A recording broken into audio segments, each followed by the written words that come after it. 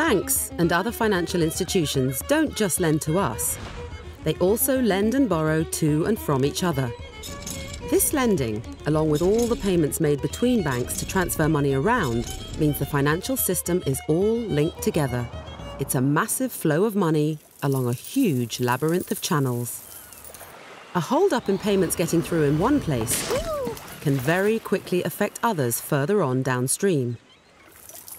So to manage their money, banks will often borrow short-term, including overnight, from one another, and occasionally from the Bank of England, to ensure they have sufficient funds to make payments that are due on a day-to-day basis.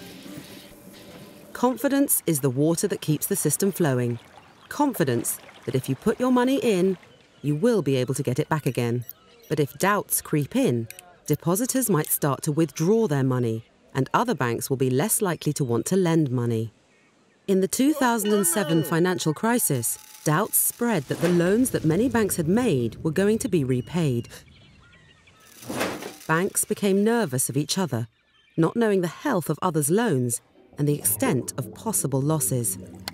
Confidence began to drain from the system, and the financial system started to become unstable. Lending between banks dried up and losses mounted, making it impossible for many banks to cope. The entire system almost ground to a halt and required a massive amount of support from the government and Bank of England to inject money to boost capital and liquidity. The bank's job is to spot those vulnerabilities and risks well in advance, maintaining confidence and stability. Much needed reforms were made in 2013 to make this job easier in the future.